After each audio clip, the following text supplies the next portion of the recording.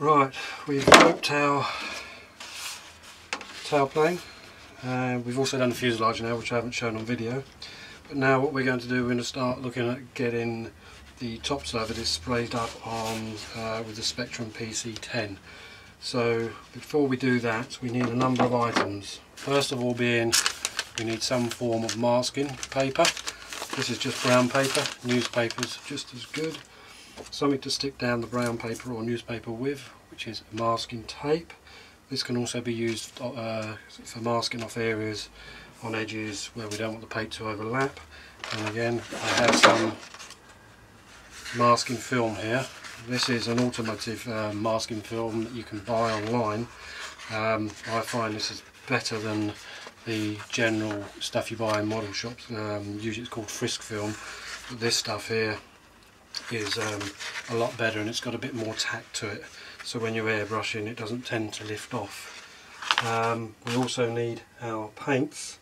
Um, for this job we're going to be using Spectrum Enamel which is PC10 and obviously thinners for mixing and thinning down our paint.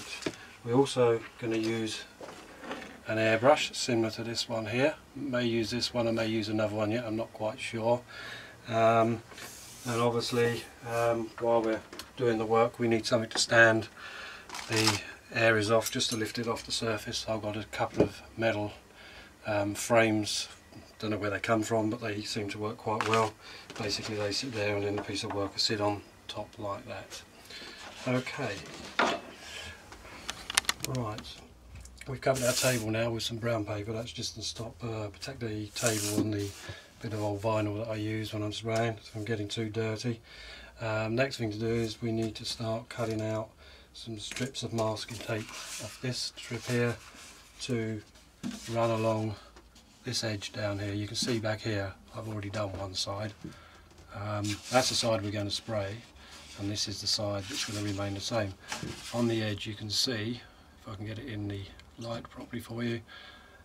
We just want our tape just to come around there, just to stop any overspray coming on to the underside and this should give us a nice crisp edge as well.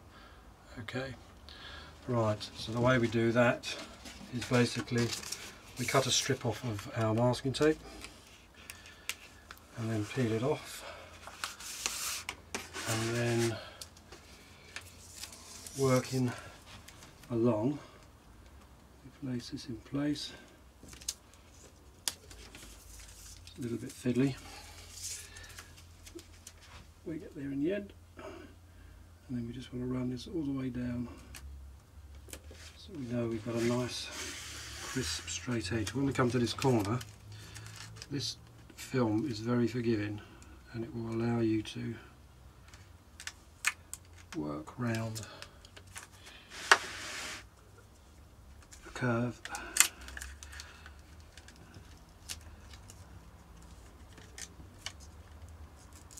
Like so.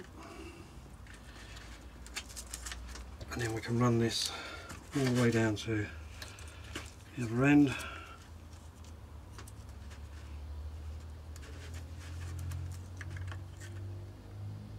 Like so.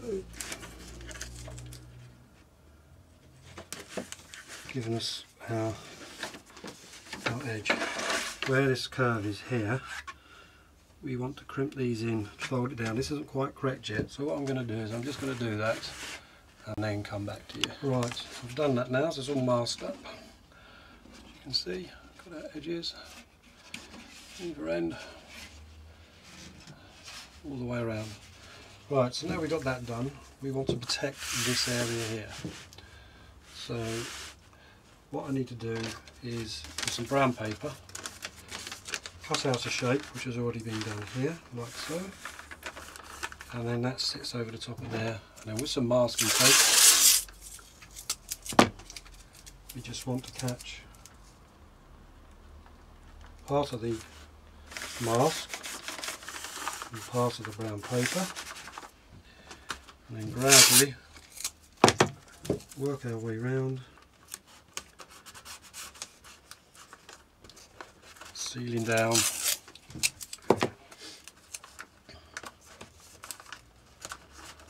ensuring that everything's nice and firmly stuck so no paint can get into the undersurface when we're spraying.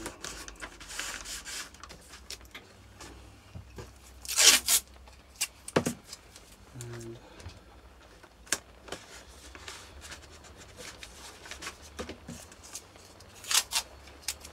there we have it. Okay, just tidy up these bits there. And push that down.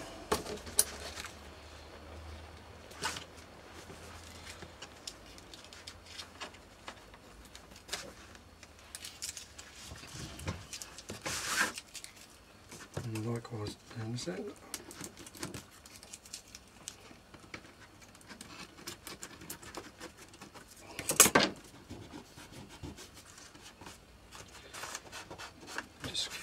Round. Double checking there's no areas left in, And there we have our panel ready for spraying. It is worth just checking before you spray that all the edges are staying down. There's no little bubbles appeared. And that then sits on top of my two little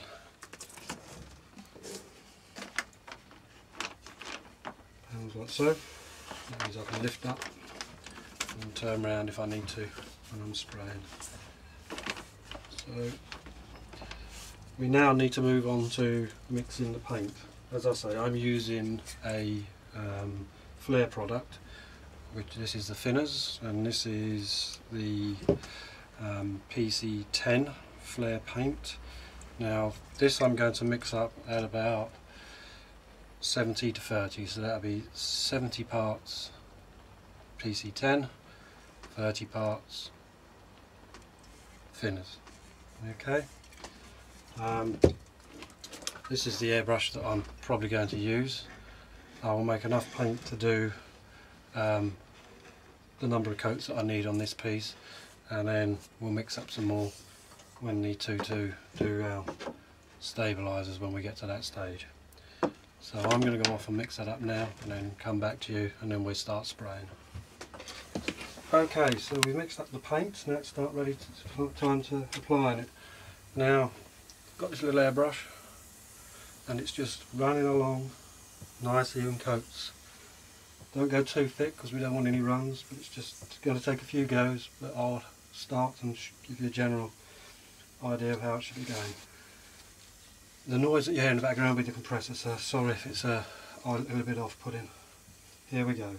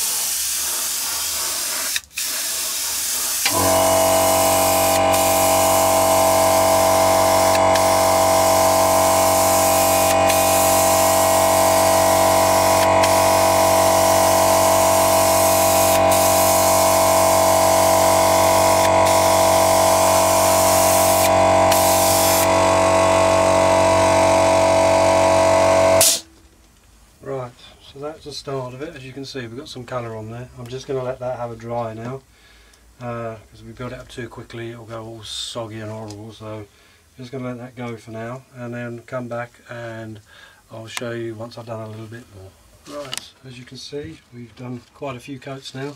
Probably about six, seven coats now. Very light coats. And it's not quite dried, but this gives you some idea of the final result. Very good. And you can see, we still haven't taken the masking off, but I'll do that once it's a bit drier, and I'll show you our edge, and hopefully it's nice and crisp. Okay, there we go. What I will do is after this I'll get a very light Scotch-Brite pad and just give this a rough going over because you do pick a little bit of overspray up when you're using an airbrush um, with this so just go a little bit of Scotch-Brite gently go over it but it needs to be fully cured before we do that um, so that's part one of the tailplane done um, just got the stabilisers in contrast that's what we had and this is what we've got. Okay, right, so I've actually removed the masking tape now so you can actually see hopefully. That's what we're left with. Sorry it's not clearer.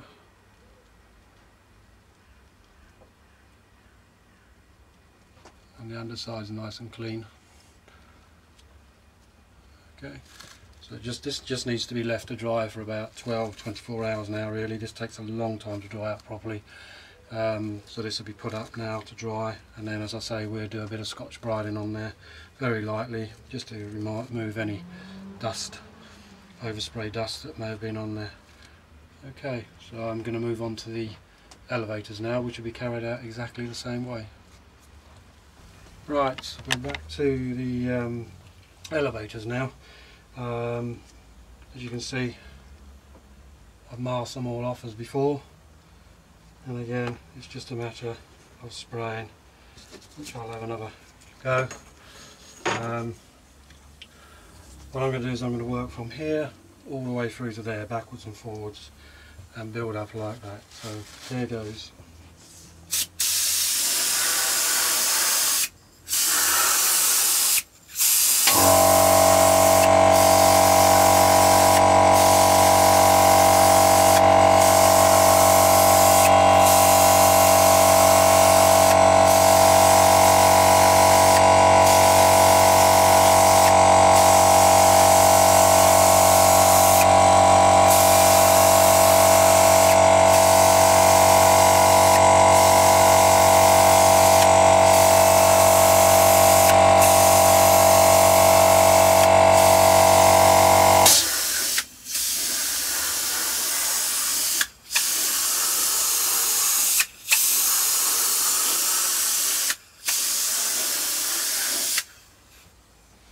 So just let that go off for a second. What you can do, which I've done on smaller pieces, you can't do on big pieces, on smaller pieces, you can go over it lightly with a hairdryer, just to get it to tap off.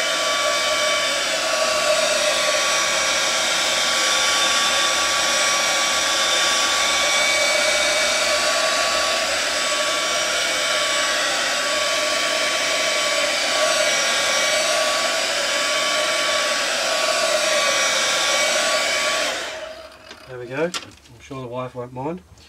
Um, and here we go again.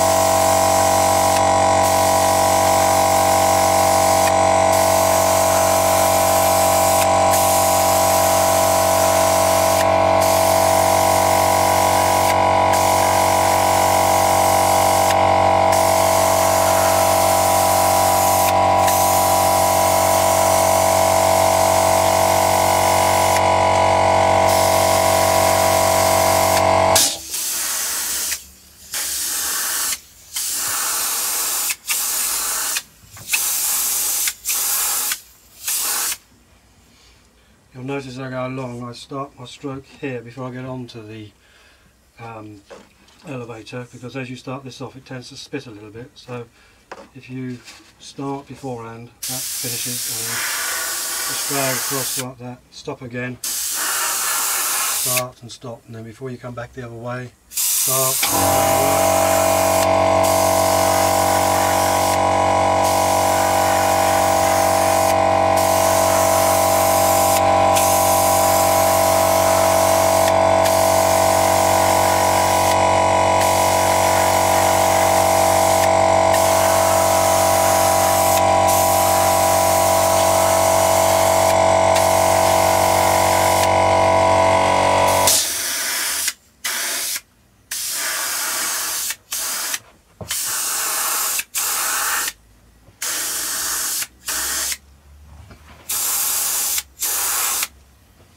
Okay, we'll let that dry.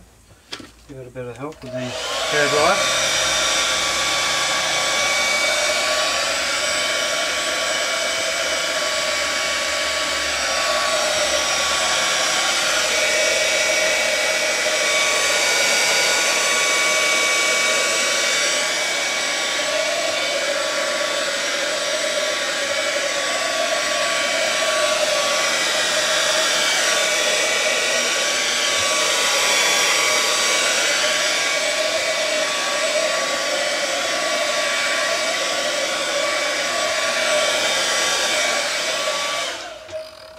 Okay, that's dried off again and then just start again.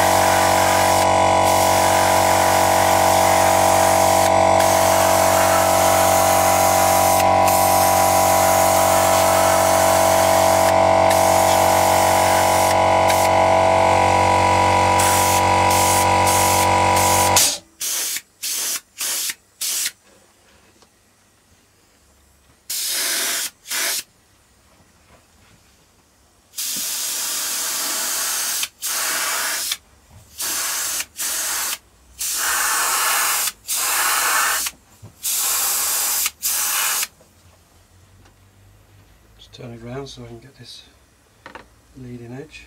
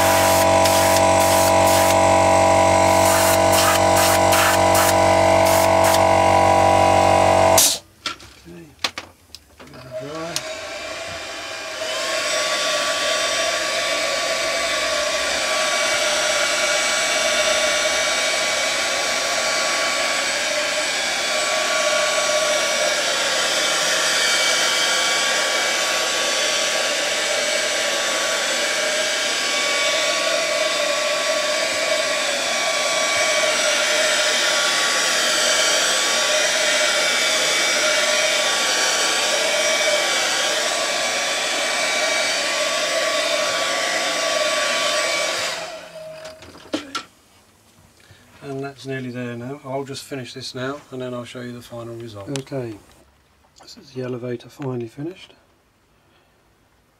Okay, I'll just turn her over so you can see. The edges have not come out too bad at all. You can't actually see on the camera, but if I bring this over, you'll see there's a little bit of overspray in that top right hand corner you see. Now that will is unfortunate but I will actually sand that out with a little bit of Scotch-Brite Scotch-Brite should get rid of that but apart from that it's all pretty good elsewhere so I'm very happy with that. Okay so that now has got to sit up and dry for at least 12 hours and then we'll Scotch-Brite it just to take any overspray off like we will do on the stabilizer itself. Okay, thanks for watching. Sorry it's been a bit uh, fragmented.